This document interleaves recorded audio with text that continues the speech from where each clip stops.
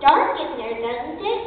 When people refuse to see God's truth, they're in darkness, even though their eyes are wide open. But you, you're different.